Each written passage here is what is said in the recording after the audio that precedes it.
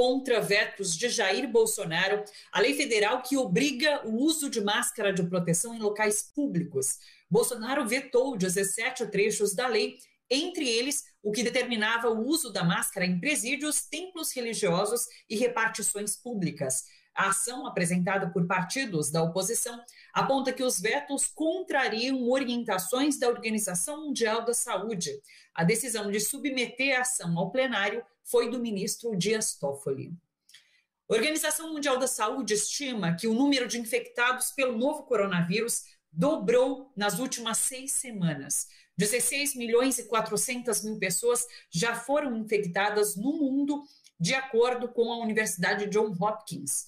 A porta-voz da Organização Mundial da Saúde, Margaret Harris, disse hoje em Genebra que uma grande onda da pandemia deve de ocorrer durante o verão no hemisfério norte agora. E fez um alerta. Dá uma olhada.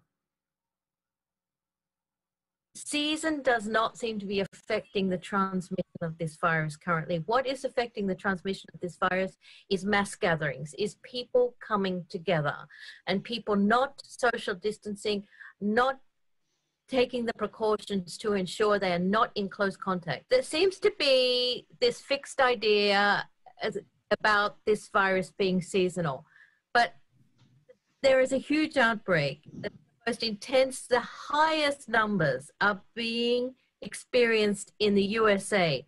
They are in the middle of summer. Also, Brazil. They are in the middle of, uh, they are an equatorial country. E a Bolívia decretou o estado de calamidade pública por conta da Covid-19. O país tem 69 mil infectados e quase 2.600 mortes, 2.600 óbitos. A morte de três detentos num presídio de Cochabamba provocou um motim. Os presos exigem medidas de segurança. Vamos dar uma olhada. Estamos vivendo momentos difíceis a nível mundial e nacional,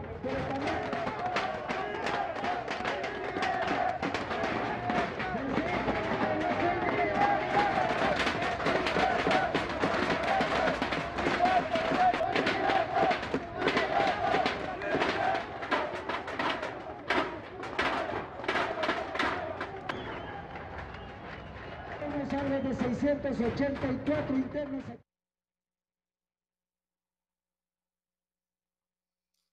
Janine Agnes, a presidenta interina da Bolívia, foi infectada pelo novo coronavírus. Ela teve alta ontem, depois de ficar isolada por quase três meses. Janine participou do golpe que depôs Evo Morales da presidência. Pelo Twitter, Morales lamentou a situação da Bolívia.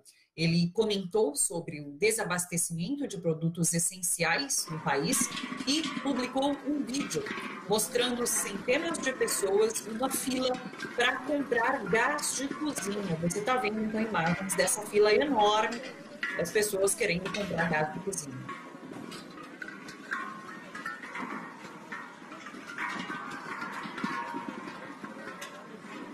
Pois é.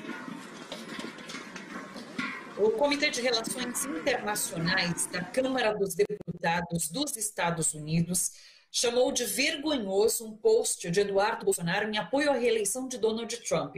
O presidente do comitê, o deputado Eliot Angel, replicou a postagem do filho de Jair Bolsonaro com o seguinte texto: dá uma olhada. Já vimos esse roteiro antes. É vergonhoso e inaceitável. A família Bolsonaro precisa ficar fora da eleição americana.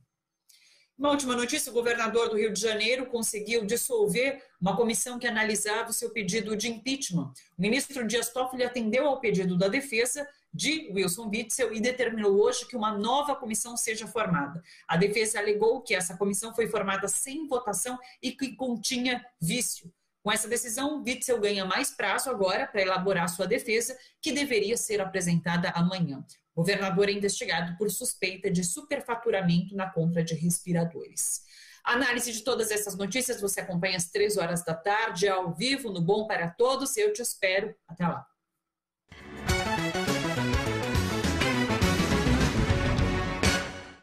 Quem é